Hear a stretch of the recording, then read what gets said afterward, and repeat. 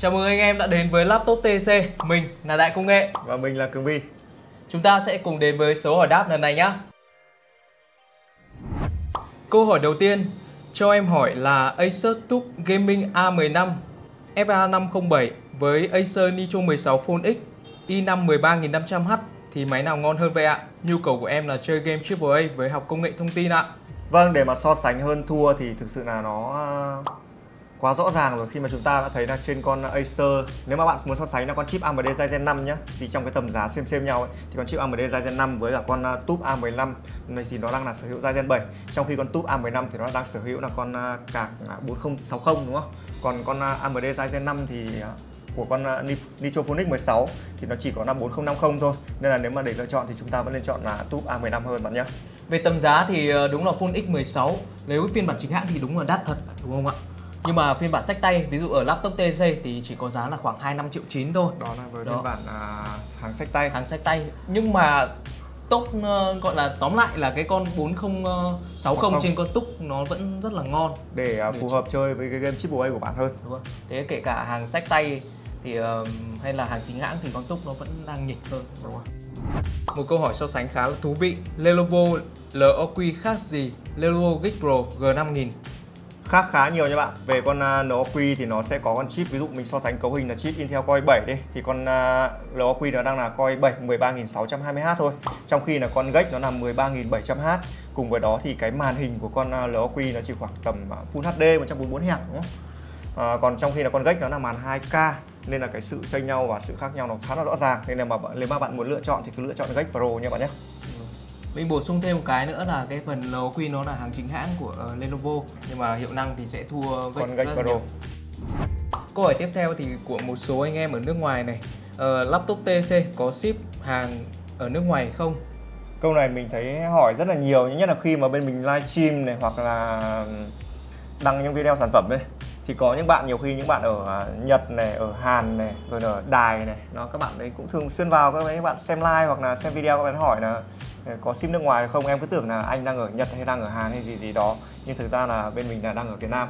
Nên là một số các bạn mà muốn đặt hàng nước ngoài thì cũng hơi khó khăn à, để mà ship ra bên đó. Bên mình vẫn chưa tìm được cái đơn vị vận chuyển nào nó phù hợp để à, có thể ship đi à, ra gọi là quốc tế được. Cái này thì các bạn à, hết sức thông cảm.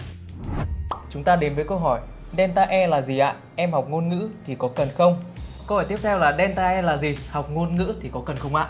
Delta E thì chúng ta cứ hiểu nó là cái à, chỉ số đo màu sắc đi Vì khi mà các bạn làm về à, thiết kế à, hình ảnh này, Photoshop hoặc là chỉnh sửa hoặc là làm về những cái liên quan đến màu sắc đấy, thì các bạn sẽ phải cần cái chỉ số này để xác thực được cái màu của nó có đúng cái màu không người ta thường sẽ gọi là cái độ sai lệch màu khi mà cái điểm delta e nó càng thấp thì cái độ sai lệch màu nó càng giảm do đó thì cái màu da nó sẽ chính xác hơn. À, nên là khi mà bạn học về cái ngành ngôn ngữ thì mình nghĩ là cái delta e này nó không cần thiết. Và những cái delta e này thường nó sẽ ở trên màn hình laptop pc hay là những máy chiếu máy in. Đó những cái đó thì nó sẽ là quan trọng. Còn về ngôn ngữ thì mình nghĩ là chắc là không cần đâu. Một bạn hỏi, anh chị cho em hỏi là em học ngành khoa học máy tính thì cần nên mua laptop gì dưới 19 triệu đủ dùng 4 năm ạ? Em cảm ơn và chúc kênh ngày càng phát triển. Vâng, với ngành khoa học máy tính thì bạn cứ tham khảo cho mình những cái dòng mà nó có thể sử dụng được đa nhiệm. Ví dụ như những dòng là Dell Precision chẳng hạn, những cái dòng 5000 series này, à, nó sẽ thuộc từ phân khúc từ 5510 là những cái dòng đời đầu của nó. Sau đó đến những cái dòng bây giờ là 5560 hoặc 5570 thì à, những cái dòng đó nó sẽ tốt hơn hoặc là bạn mà muốn làm à, kiểu như là nó mát hơn một chút thì bạn có thể tham khảo đến cái dòng à, 7000 series. Vì dòng 7000 series thì nó sẽ thiết kế dày hơn, nó chuyên phục vụ cho các bạn làm việc đồ họa nặng nhọc mà cần những cái tản nhiệt tốt. Hoặc là cũng có thể tham khảo sang cái dòng à, ThinkPad với dòng à, ThinkPad dòng P thì cái ThinkPad nó sẽ có cái trải nghiệm người dùng tốt hơn và cái tản nhiệt của nó cũng khá là tốt vì vỏ của nó hầu như là đều là vỏ nhựa. Còn nữa, cái bàn phím của nó thì sẽ có cái gọi là gõ phím cái thiết kế phím của nó gõ rất là êm tay khi mà chúng ta làm việc sử dụng cũng rất là thoải mái. Đó nên nếu mà bạn muốn làm về học à, ngành khoa học máy tính thì bạn cứ tham khảo cho mình mấy cái dòng đó dòng Precision 5000 series 7000 series hoặc là ThinkPad dòng P. Về cái ngành khoa học máy tính này thì các bạn sẽ làm chủ hầu hết mọi cái vấn đề từ máy tính liên quan đến cả phần cứng cả phần mềm luôn. Nên là nếu mà các bạn chọn những cái máy tính thì ờ, chúng ta sẽ thường là làm về cái máy nó phải bền một chút thì Đúng. nói chung là phải nên chọn những cái dòng máy chạm. Còn dòng nếu mà bền bỉ mà nó phải làm đa nhiệm nữa cơ. Vì ngành đó nó rất là rộng. Chúng ta chưa biết là đi được theo hướng nào. Câu hỏi của bạn uh, tầm giá 20 đến 21 triệu con nào ngon nhất ạ? Chơi game thì uh, chơi FIFA Online 4 và CSGO. mong view nhôm 16GB mong anh rep. Nếu mà bạn muốn chơi game nhưng mà lại lựa chọn máy dòng vỏ nhôm thì thực sự là nó sẽ hơi bị uh, nóng một chút đúng không vì à, nếu mà chơi game thì cái tản nhiệt của nó ở CPU nó sẽ khá là cao. Còn nếu mà bạn vẫn thích cái dòng vỏ nhôm thì mình sẽ có thể tư vấn cho bạn nữa. Chọn những cái dòng ví dụ như là Dell Precision 5540 hoặc là 5550 thì những cái dòng đó thì CPU của nó khá là cao đủ để cho bạn chơi mấy cái game esports như kiểu là CSGO hoặc là FIFA Online 4 này. Còn thực ra là nếu mà bạn muốn uh, cái hệ thống tản nhiệt nó mát hơn thì bạn có thể tham khảo sang cái dòng Precision 7540 hoặc là 7550 à, tuy nhiên là dòng đó thì nó sẽ khá là nặng và dày. Đó đấy là nếu là những dòng vỏ nhôm mà bạn đang muốn lựa chọn.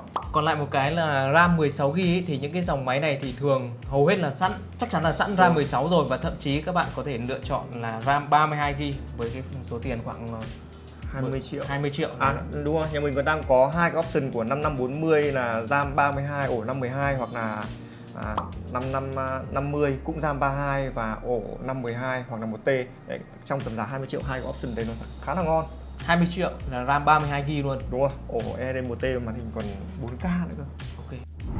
Thế là chúng ta đã đi hết số hỏi đáp ngày hôm nay rồi. Cảm ơn các bạn đã đặt câu hỏi cũng như là xem hết video đến thời điểm này. Nếu các bạn thấy video hay thì các bạn hãy nhấn nút like cũng như là đăng ký kênh. Cùng với đó thì hãy nhấn nút chuông thông báo khi bên mình ra những cái video tiếp theo và có những câu hỏi của các bạn nhé. Còn bây giờ thì xin chào và hẹn gặp lại